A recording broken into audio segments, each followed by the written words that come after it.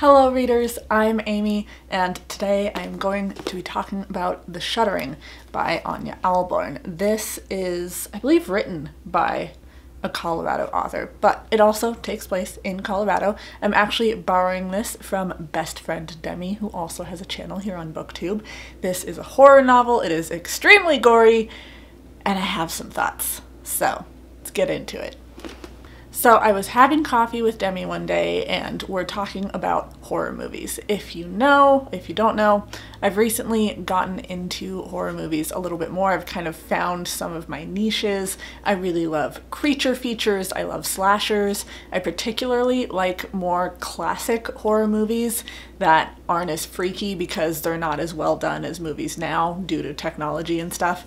Just if they're if they're not hyper realistic like today's movies, I tend to enjoy them a little bit more unless they're creature features or slashers because I don't like to be too scared.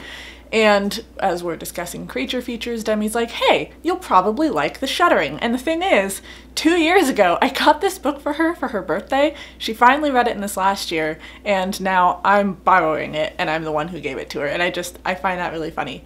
But this is a book that takes place in a secluded location, which is one of my favorite horror book tropes, one of my favorite horror tropes in general when you're in a place and you can't escape these adults, um, I wanted to say these teens because it's always teens, but they're adults. They're like, what, late 20s, early 30s. Um, some of them, two, two of them are twins and they're from a very, very rich family and they're best friends and one of their friends' girlfriends are coming with them up to their father's cabin, which is being sold. So it's kind of a last hurrah for the group. They haven't seen each other that much lately. One of the twins is going to Switzerland, so they just want to hang out and spend some time together. This is a secluded cabin in the woods next to a ski resort. Um, the one who's going to Switzerland is actually going for snowboarding. He has this website dedicated to like snowboarding websites and stuff. Um, this big storm comes along. They have some fights. They can't really remove themselves from the cabin, and they notice some weird things going on. So, not throughout the whole book, but for the first couple of chapters and for the last chapter, we open up the chapter with a character who is not one of our main characters, and for the most part, they're not really characters that our main characters interact with. So, for example, at the beginning, you have this man who's going out to chop firewood. He encounters the mysterious thing in the woods. Um, later on, you have this couple who's out snowboarding and they decide to take a detour. By the way, terrible idea don't take a detour when you're in the mountains snowboarding or when you're in the mountains in general. If you don't know the area, don't take a detour. Just letting you know. But they take a detour, they discover this horrifying thing in the woods, and then we go back to our main characters. So I think the best way to describe the monsters, I, I feel like they're werewolves. This is unconfirmed. There is nothing really to lead me to believe that they're actually werewolves, but they're disguised they're described as very wolfish. They have very long teeth. They're gray and bony and I don't know that they're furry. I think it's more like skin.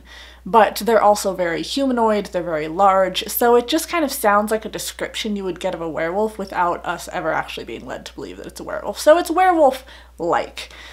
But I think my big critique of this book, I mean, I, I actually loved this book for the first half. And then we get to the second half. And it's not a bad book. It's very enjoyable. I enjoyed reading the entire thing. But my critique. I feel like I'm not a horror aficionado by any means. It's just what I've been noticing with some of the horror movies that I've been watching, the horror books I've been reading.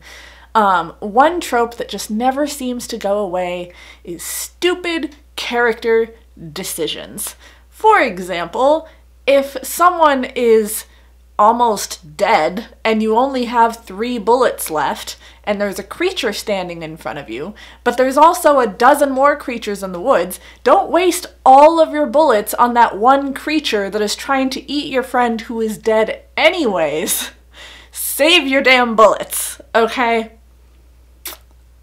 Just saying. I'm not saying that's a spoiler. I'm just saying.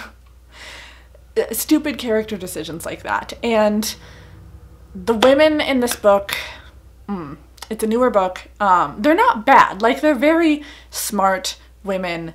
They, they're, they have their own lives, they're their own people, cool.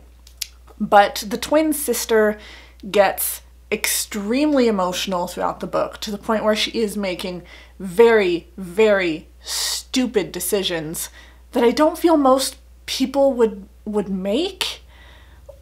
Like it's like they have no sense of the real danger or they don't have it just I'll explain with a little snippet from the book. How about that? Um, there's characters in the house and the twin, the woman, um, can't find her brother. Now, this is a huge house. She's only taken a glance around the room, but she doesn't see him. So she automatically goes to the door to go outside where the monsters are, and she's crying, and she's gonna unlock the door and run out into the snow to find him, instead of checking the rest of the house.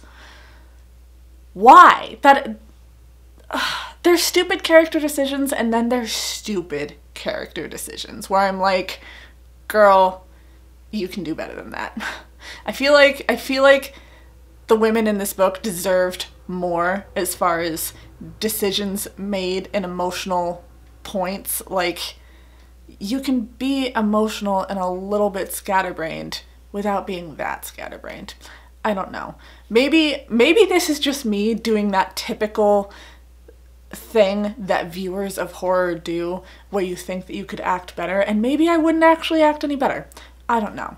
But besides besides some of the stupid stupid decisions by characters, I actually did really enjoy this book. Um, it is very gory. There are no holds barred on all of the blood spl- splatter and the neck tearing out. Like, it's a lot. Um, as for the title of the Shuddering, it's not really explained. Not that a lot of monsters are necessarily explained, but you can kind of see the location of the monsters from time to time because they're like bumping up or rubbing up against one or two trees in the forest and you just see the trees shuddering and that's kind of like their call. It's how you know that they're arriving.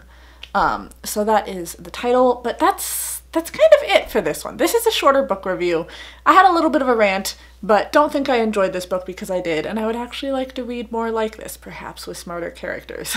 Maybe best friend Demi will have some recommendations since she's into the very gory, creepy books, so I will be looking to her for some more books along the lines of this to go ahead and check out. Please like, subscribe, be my friend on social media. I will see all of you in my next video. Bye, friends.